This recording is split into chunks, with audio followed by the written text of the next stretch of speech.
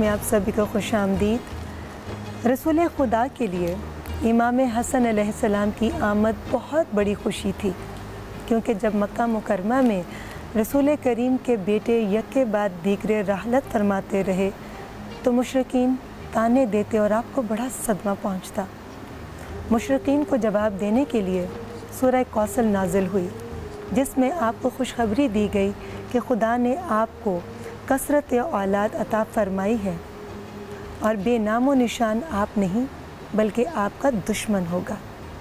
दुनिया में हर इंसान की नस्ल उसके बेटे से है, लेकिन कायनात की अशरफ तरीन हस्ती, सरवर कौनैन हज़रत मोहम्मद मुस्तफ़ा सल्लल्लाहु अलैहि वसल्लम की नस्ल का ज़रिया उनकी बेटी हज़रत फ़ातमतुज़्ज़हरा यानी इमाम हसन और इमाम हुसैन को करार दिया गया। और हमारा आज का मौजू है बेटा। हम उलमा कराम से इमाम हसन की विलायत इमाम हसन की विलादत के तनाजुर में ये जानेंगे कि दीन हक़ के मुताबिक एक बेटा एक बेटा कैसा होना चाहिए और उसके हक़ों व फ़राइज़ क्या हैं। जी उलमा कराम का तारुफ कराएँगे। आ, नाजरीन आ, आज क्योंकि बहुत अहम दिन है इमाम सल्लम की आमद का तो हमारे साथ उलमा कराम मौजूद हैं।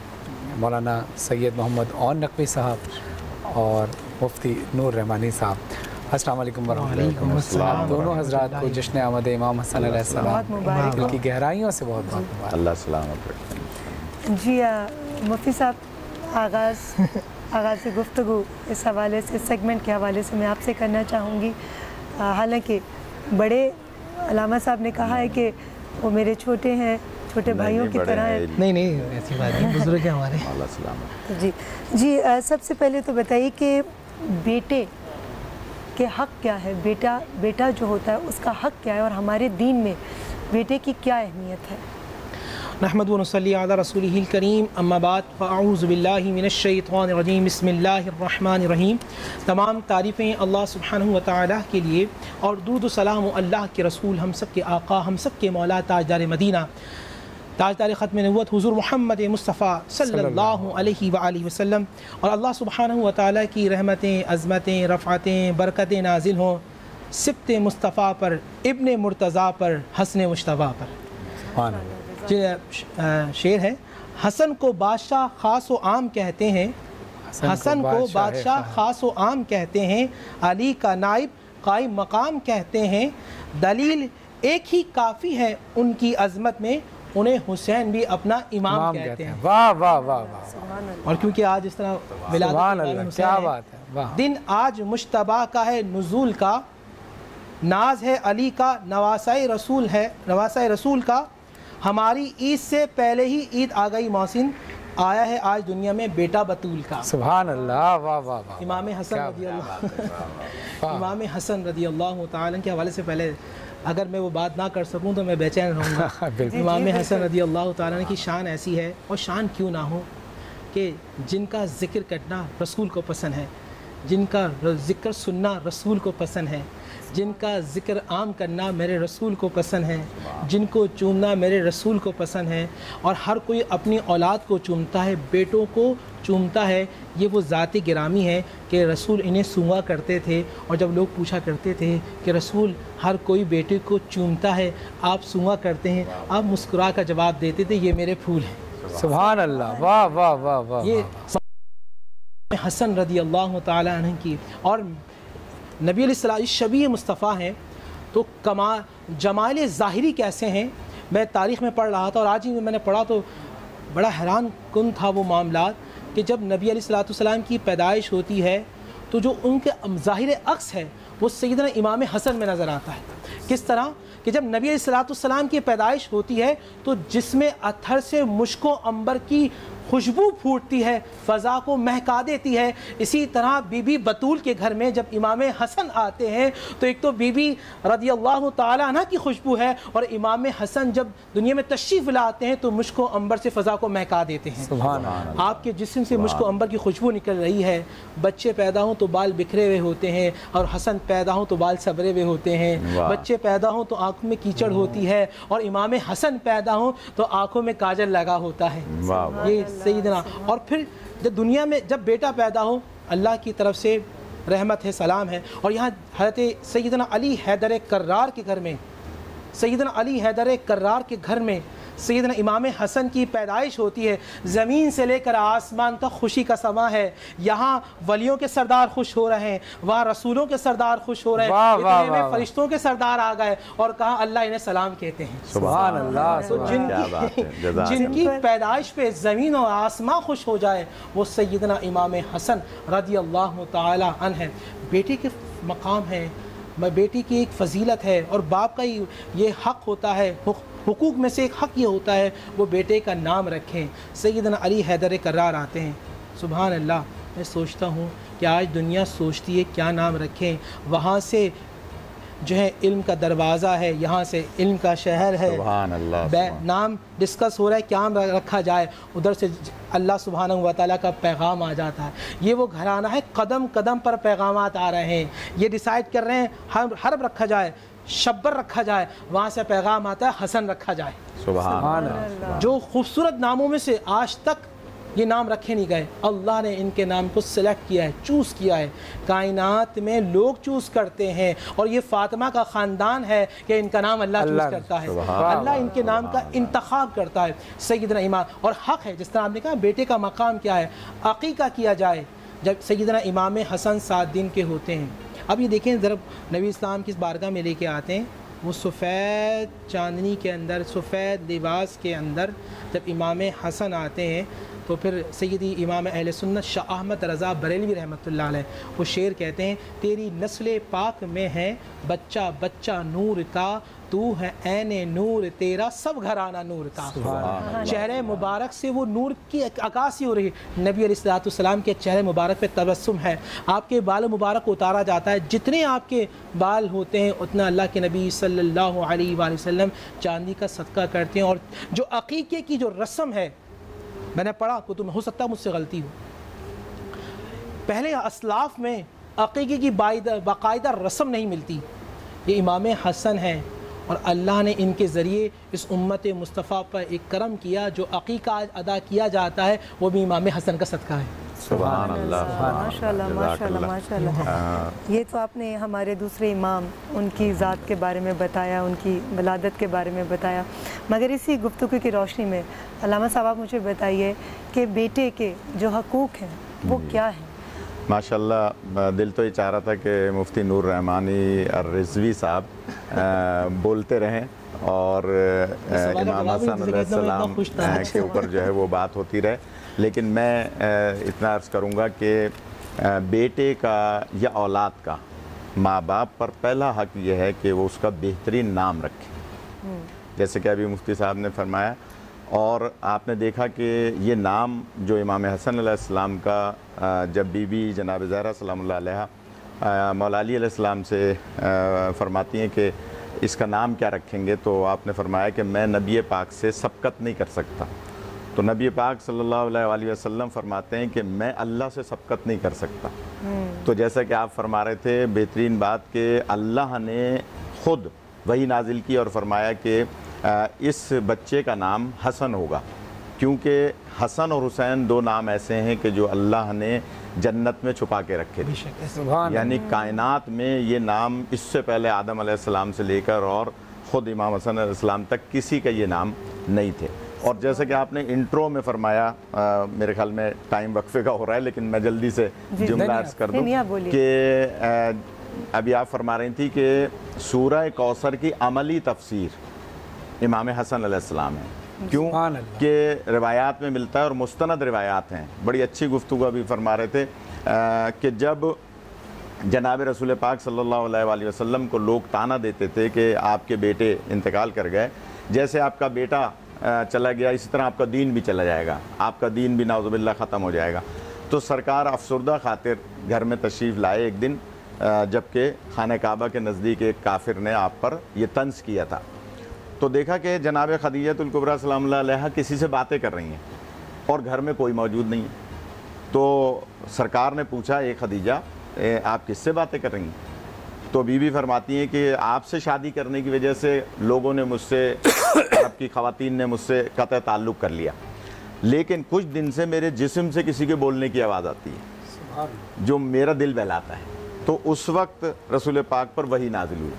और ये आयत आई इन्ना आतना कल कौसर। बेशक हमने आपको कौसर अता किया। क्या बात अच्छा इसमें भी लफ्ज़ अता है। देखिए अता और ईता में फ़र्क है। ये भी एक बहस है इल्म कलाम में कि अता किसे कहते हैं ईता किसे कहते हैं। अल्लाह ताला को यहाँ शायद जतलाना चाहिए था कि हमने तुम्हें खुल के अजीम का फ़ाइज़ बन, पर फ़ाइज़ बनाया। हमने तुम्हें रहमत आलमीन बनाया। हमने तुम्हें शाफ़ी रोज़ मैशर बनाया। लेकिन अल्लाह जतला क्या रहा है? हमने तुम्हें कौसर अता किया। इसलिए कि जो अता चीज़ होती है वो किसी अमल की वजह से नहीं होती। यही सबब है कि जब भी जनाब सैदा रसूल पाक के हुजरे में आती थी रसूल पाक खड़े हो जाते थे। क्यों? इसलिए कि जब अल्लाह का तोहफा आएगा रसूल खड़े होकर इस्तकबाल करें वाह वाह वाह इसलिए इन्ना आता है ना कल कौसर हमने आपको कौसर अता किया। तो उस वक्त सरकार फरमाते हैं ये खदीजा ये बेटा नहीं बल्कि बेटी होगी इसका कुरानी नाम कौसर होगा ज़मीनी नाम फ़ातिमा होगा और फिर उसकी अमली तफसीर क्या हुई कि जब इमाम हसन अलैहिस्सलाम आज के दिन पंद्रह शाबान को तीन 15 रमज़ान। पंद्रह रमज़ान को तीन गोया हिजरी में इस दुनिया में तशरीफ़ लाए तो आप देखिए कि सबसे पहले रसूल पाक की खिदमत में जब पेश किया तो बीबी उम्म ऐमन ने कहा कि आकाज़ादी अगर इजाज़त दें तो मैंने गसल दे दूँ तो जैसे अभी मुफ्ती साहब फरमा रहे थे कि इनके तो आँखों में काजल लगी हुई है ये पाको पाकिज़ा दुनिया में आए हैं। तो रसूल पाक फरमाते हैं ख़बरदार मेरे इस बच्चे के लिए दुनियावी गसल की ज़रूरत नहीं है क्योंकि ये पाको पाकिज़ा पैदा हुए हैं। और एक बहुत अहम बात अर्ज़ करूँ मुफ्ती साहब की बातों से लाइन मिल जाती है मैंने पहले भी अर्ज़ किया था कि इमाम हसन अलैहिस्सलाम वो वाहिद इमाम हैं इन बारह इमामों में कि जो जोहर के बाद दुनिया में आए हैं। और माँ रोज़े से हैं। जोहर की नमाज़ माँ पढ़ चुकी थी और असर की नमाज़ माँ ने विलादत के बाद पढ़ी है। आए हैं हसन बवक्त जोहर। पढ़ रही हैं फातिमा फातिहा सुबहान अल्लाह ये भी यानी आप पढ़ते भी हैं माशाल्लाह। तो आप अंदाज़ा लगाइए कि अगर ये आम माँ होती तो इस तरह से ना रोज़ा होता ना नमाज़ होती। इसका मतलब क्या हुआ कि ये वो बीबी हैं कि जिनको अल्लाह ने आया तथीर का मजदाक करार दिया और इनके ज़रिए से इमाम हसन अलैहिस्सलाम इस दुनिया में तशरीफ़ लाए। और सूरह कौसर की अमली तफसीर क्यों? कि नबी पाक फरमाते हैं कि जो अल्लाह ने तुम्हें यानी मुझे जहरा की सूरत में कौसर अता किया उसके ज़रिए से इमाम हसन अलैहिस्सलाम और फिर नबी पाक की हदीस मुबारक या अली हर नबी की नस्ल उसकी सुल्ब से चली है। मेरी नस्ल तुम्हारी सुल्ब से चली जनाब फातिमा सलाम का एक लक़ब भी तो है ना बतूल। बतूल अब बतूल का लफ्जी माने होते हैं पाक। तो शहजादी पाकिजगी की इंतहा से इबादत और कैसे जैसे आपने बताया कि जोहर का वक्त इमाम हसन अलैहिस्सलाम की आमद का और असर पढ़ बाकी आए सारे हैं सुबह आए हैं फजर के वक्त। हाँ ये क्या वो कलाम पढ़ते हैं ना मीर हाँ। सजाद साहब का हाँ, तू बड़ी हाँ। सखी बात। हाँ। आए हैं हसन बवक्त जोहर। जोहर। असर पड़ रही हैं फातिमा। तो नाजरीन वक्फे का वक्त हुआ है। अभी इसी मौजू पर हम रहेंगे और आते हैं मुख्तर से वक्फे के बाद। देखते रहिए बारह रहमान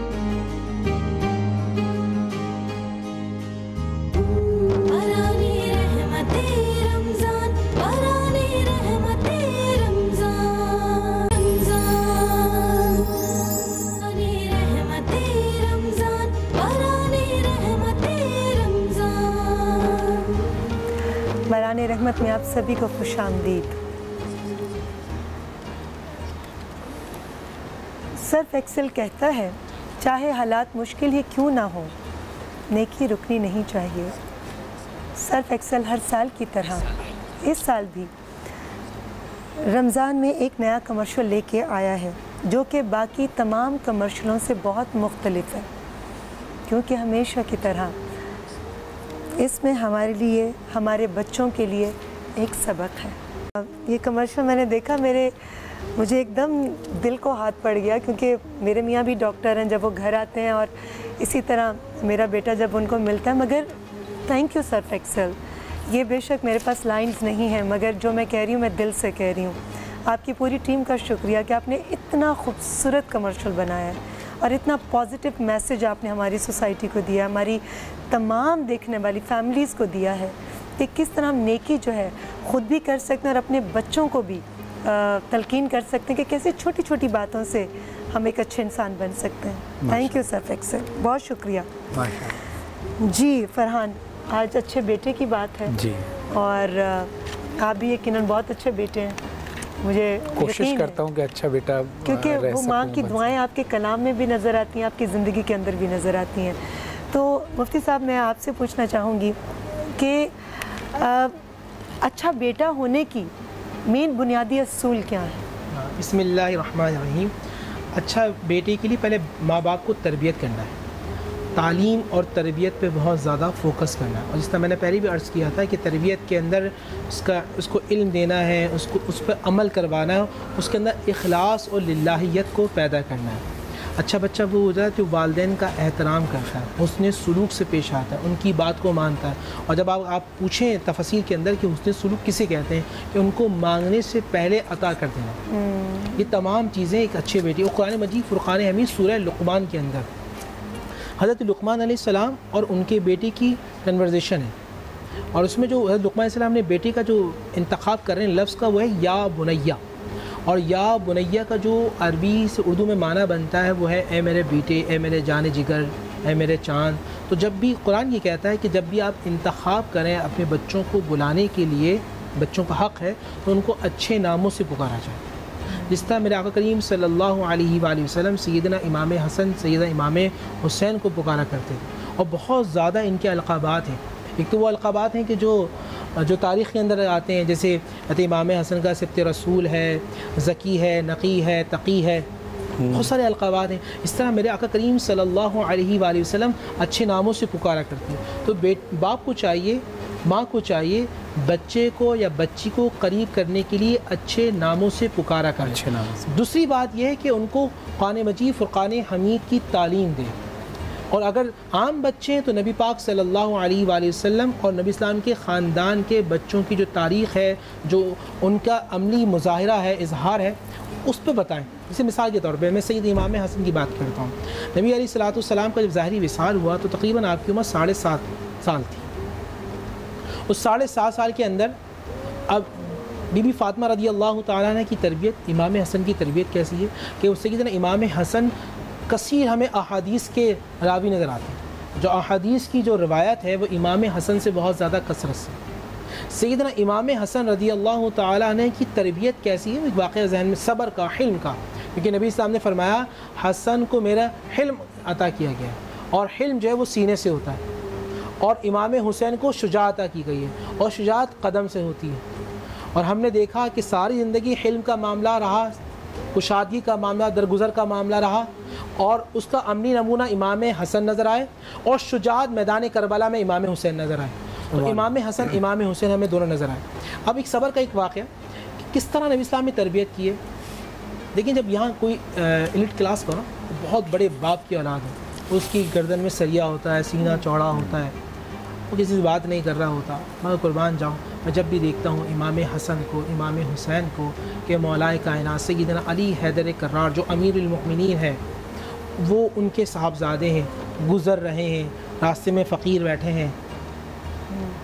फ़कीर दावत दे रहे हैं, हमारे यहाँ कोई लैंड क्रूज़र के अंदर आओ, हो और किसी बड़े बाप की औलाद हो तो वो देखना पसंद नहीं करता, मगर ये फ़ातिमा और अली के लाल हैं जो नीचे नीचे उतर आते हैं।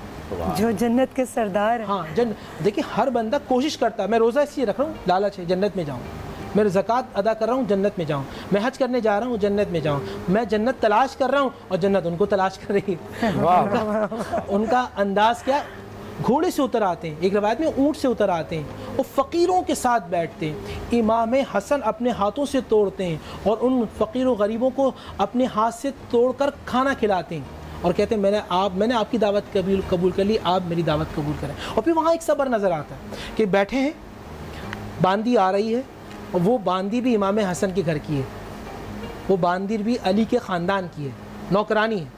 वहाँ से आ रही है और गरम गरम शोरबा है, सालन है जो लेकर आ रही है। पाँव उलझता है, इमाम हसन बैठे हैं और एकदम गरम गरम सालन उन पर गिर जाता है। मुझे बताया फरहान भाई, जो गरम सालन हम पे गिरे नौकरानी हो या नौकर हो, क्या अंदाज हो?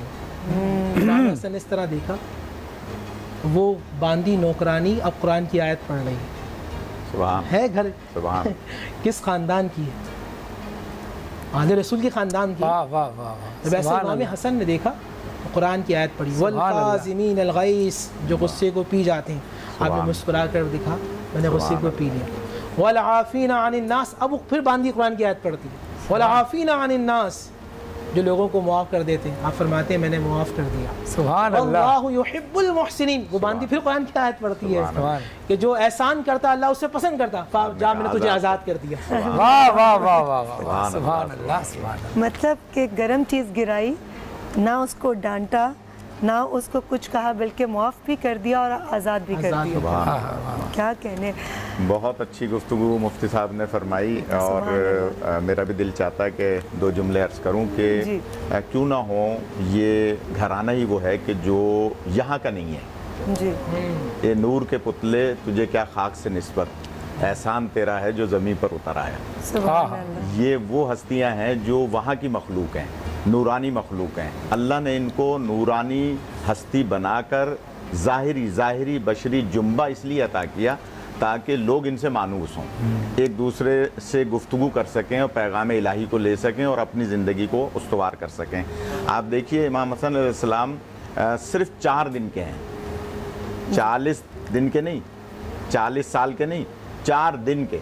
बुखारी शरीफ में रिवायत मौजूद है।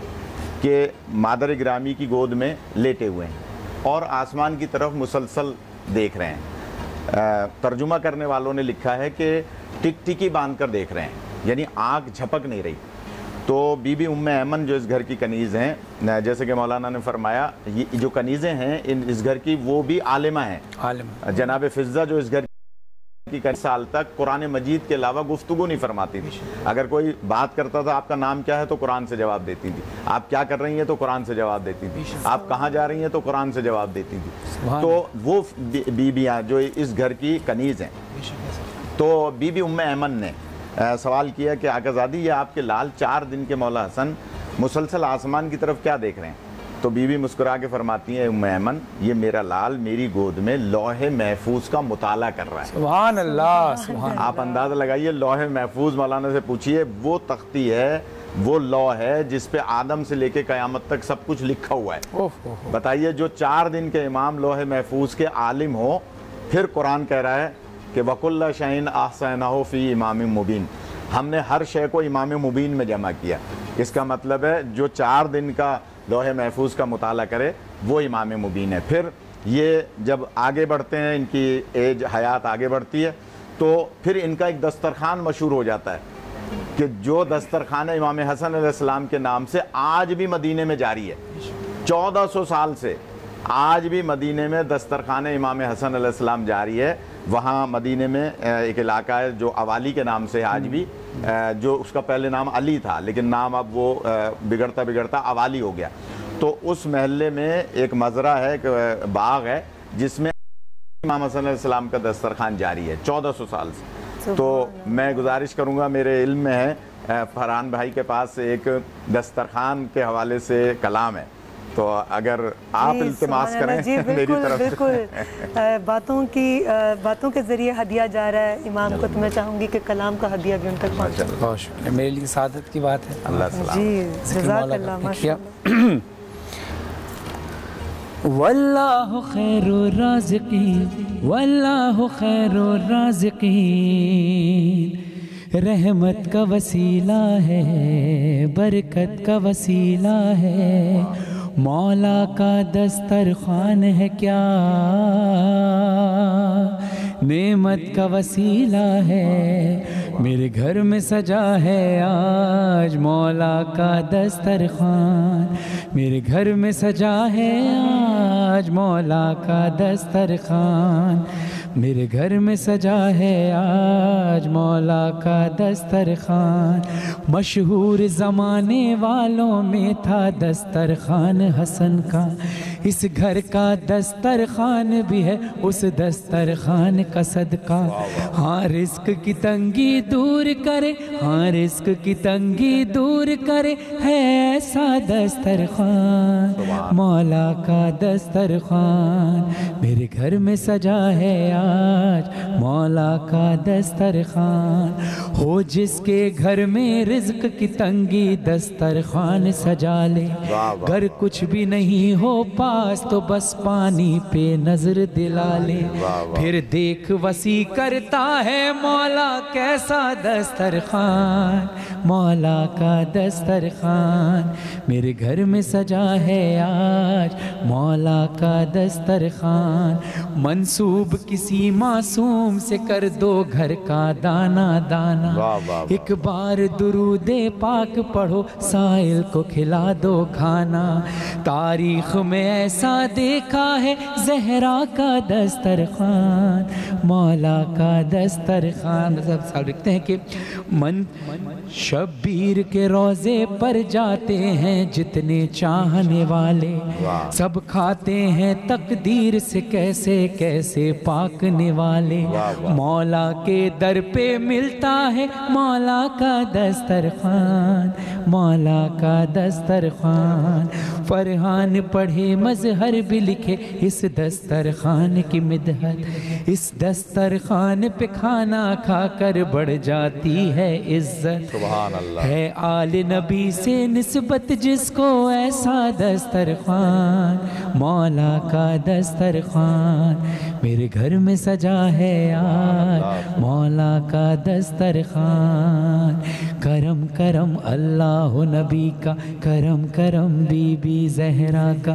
करम करम अल्लाह नबी का करम करम बीबी जहरा का। वल्लाह खैरुर राज़िकीन वल्लाह खैरुर राज़िकीन जज़ाकल्लाह जज़ाकल्लाह माशाल्लाह माशाल्लाह माशाल्लाह माशाल्लाह अल्लाह सलामत खूबसूरत गुफ्तु और खूबसूरत कलाम का सिलसिला जारी है। हम लेंगे एक छोटा सा ब्रेक आप कहीं मत जाइएगा।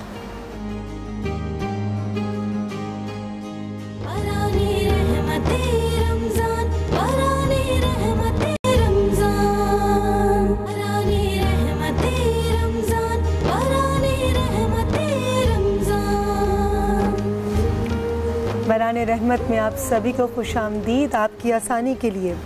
अब आप बग़ैर किसी परेशानी के घर बैठे बसानी मेगा मार्ट से शॉपिंग कर सकते हैं। और गर्मी में आपको लाइंस में लगने की ज़रूरत नहीं। सौ फ़ीसद सफ़ाई के साथ आपके घर तक तमाम सामान जो है वो डिलीवर किया जाएगा। आप विज़िट कर सकते हैं उनकी वेबसाइट पर www.megamart.pk आसानियाँ कैसे तकसीम की जा सकती हैं? ये भी एक तरीका है। आप सवाल पूछेंगे या मैं पूछ लूँ? आप आप करें सवाल क्योंकि आप अ, सवाल आपके सवाल का अंदाज ये भी अच्छा है अच्छा हमारे पास कुछ सवाल लिखे होते हैं लेकिन रीमा साहिबा जो है ना फिलबदी जो सवाल करती है मुझे हाँ, खुद अच्छा लगता है कि जिस अंदाज से ये पूछ रही होती हैं और इनका जो अंदाज है और वो इस इंकसारी के साथ है कि जैसे कि तालब इल्म इल्म हासिल करना चाहता है। तो मुझे खुद अच्छा लगता है कि आप सवाल कर रही होती हैं और मैं कर बड़ी रहा हूँ। आप है, करें आपकी कुशादा दिली है। आपके पास भी उतने पुलंदा है मगर आप मुझे मौका दे देते हैं। बहुत बहुत शुक्रिया फरहान। मौलाना साहब मैं आपसे जानना चाहूँगी कि क्या ये हकीकत है कि बेटे जो हैं वो माँ के ज़्यादा करीब होते हैं बनस्बत बाप के? हाँ ये असल में एक फितरी अमल है। और फितरी अमल ये है कि हमारे सामने जो किरदार है वो अम्बी अलैहिस्सलाम का आइमा अलैहिस्सलाम का।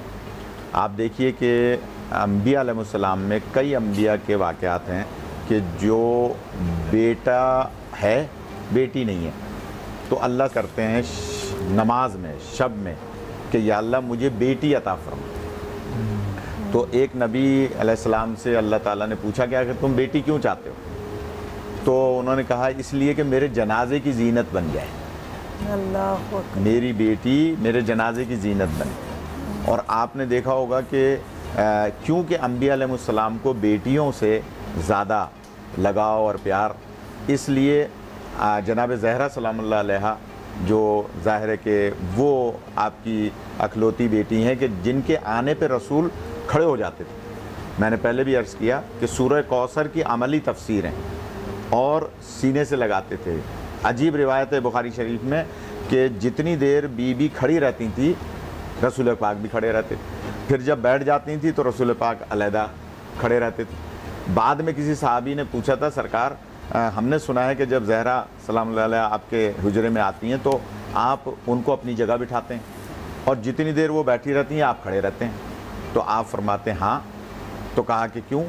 कहा इसलिए कि अगर मैं दूसरी जगह बैठ गया तो दूसरी जगह मेरी जगह बन जाएगी। मैं खड़ा रहता हूँ ये बताने के लिए कि मेरी जगह बैठने की अहल है तो जहरा सलाम तो बेटियों से बापों को अम्बिया की सुन्नत है कि मोहब्बत है। तो अब ज़ाहिर है कि अल्लाह ने बेटा भी तो दिया है। जी। तो अब बेटे से माँ को ज़्यादा मोहब्बत है।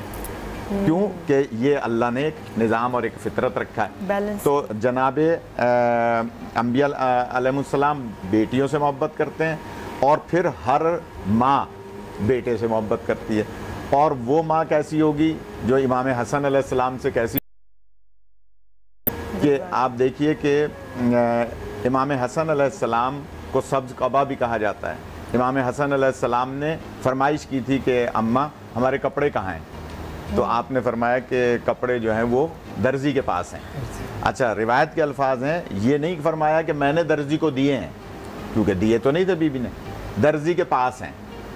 तो अब अल्लाह ताला ने जिब्राइल अमीन अलैहिस्सलाम से फरमाया कि तुम जाके ये नहीं कहना कि मैं जिब्राइल हूँ बल्कि कहना अना खयातुल हसनैन मैं हसनैन का दर्जी बनकर आया हूँ और कपड़े लेकर आए।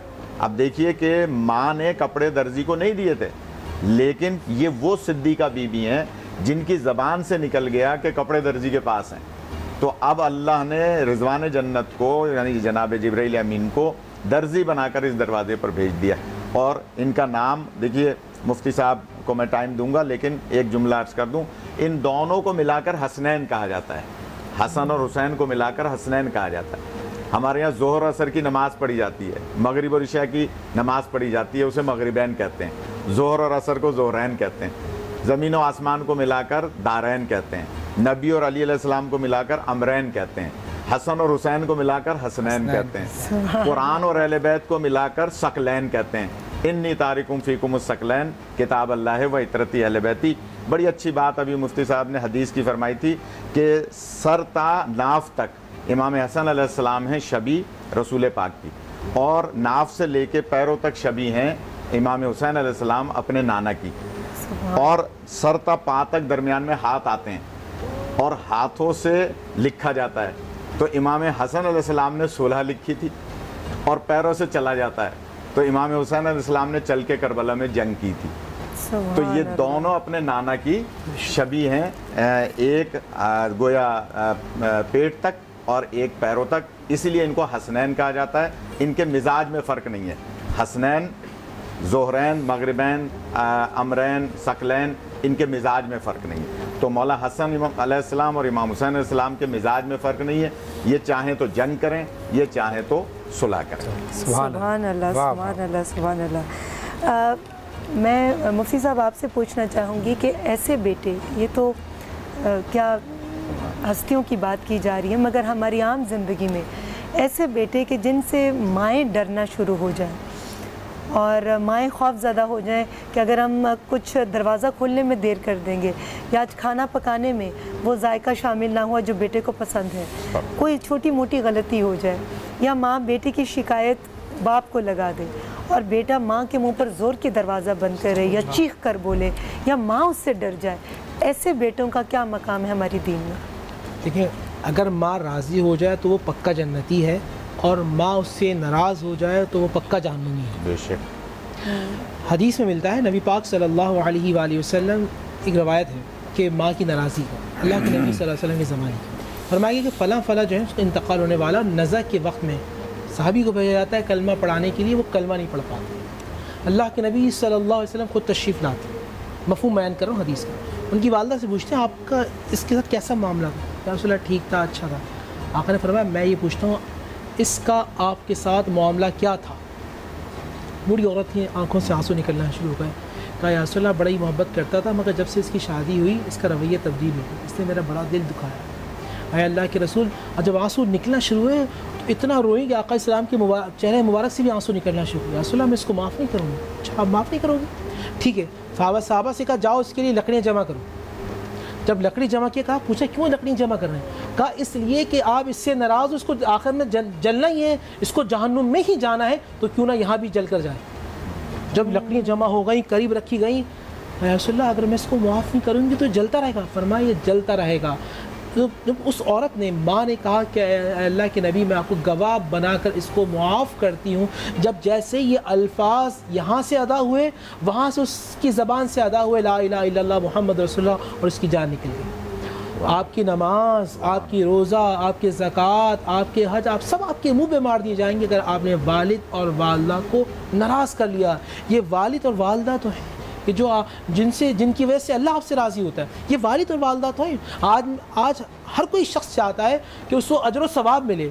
मेरे आका फरमाते हैं जब कोई सुबह उठे माँ और बाप को मोहब्बत और प्यार से देखे अल्लाह उसे हज और उम्र के मकबूल जिसको अल्लाह कबूल कर ले उसके बराबर सवाब मिलता है। माँ को देखने के बाद सवाब मिलता है। माँ दुआ दे दे तो वो दुआ फर्श से अर्श तक चली जाती है। अर्श अल्लाह का अर्श कहाँ जाता है। ये नबी सलाम वो मुझे वाक़ याद आता है कि एक बूढ़ी औरत सामने से आ रही है। अल्लाह के नबी सलाम पूछते साहबा जब अल्लाह के नबी सब कुछ उनको उतारे वारी वारी कर रहे हैं। पूछा ये कौन है? दूर तक उनका सामान उठा कर लेके गए। फरमाया ये मेरी रज़ाई वालदा दाई हलीमा है। तो आज इस उम्मत को चाहिए इमाम हसन की सीरत सबक हासिल करें। हमें इनकी सीरत को मनाना नहीं बल्कि इनकी सीरत को अपनाना है। ये फरमा बरदार बेटे हैं। ये फरमा बरदार भाई हैं। ये एहतराम करने वाले हैं। एहतराम कीजिए एतमाद कीजिए अल्लाह आपसे राज़ी हो जाए। जजाक अल्लाह क्या खूबसूरत बात की मुफ्ती साहब ने कि हमें इमाम हसन अलैहिस्सलाम की सीरत को मनाना नहीं बल्कि उनकी सीरत को अपनाना है। इसी के साथ हम आज की ट्रांसमिशन को इख्ताम करेंगे। बहुत बहुत शुक्रिया वाह, साहब आपका मुफ्ती साहब आपका। बहुत खूबसूरत गुफ्तु की इख्तामी कलाम की सादत डेफिनेटली आपके अल्लाह ताला ने आपको तौफीक दी है। कुलमा कराम बैठे हैं तायद फरमाइएगा। आज क्योंकि पंद्रह रमज़ान इमाम हसन अलैहिस्सलाम की आमद है तो एक होता है कुरान सामित यानी किताबी सूरत। और एक होता है कुरान नातिक। बोलता कुरान। तो जो हमारे किताब की सूरत में आया वो तो कुरान मजीद है कुरान सामित है। लेकिन रसूल आल रसूल जो है वो बोलते कुरान है। यानी एक होती है थ्योरी और एक होता है प्रैक्टिकल। किताब थ्योरी है प्रैक्टिकल ही है। तो इसी हवाले से कलाम के चंद अशार क्योंकि रमज़ान के महीने में ही कुरान नाजिल हुआ और पंद्रह रमज़ान को इमाम हसन अलैहिस्सलाम किया सुनिएगा समात फरमाइएगा जी। या रहमान या रहमान या रहमान या रहमान या रहमान या रहमान या रहमान या रहमान या रहमान या रहमान या रहमान, तेरा है कितना एहसान। दो जिस्म है और एक जान अहले बैत और कुरान। या रहमान या रहमान, तेरा है कितना एहसान। दो जिस्म है और एक जान अहले बैत और कुरान।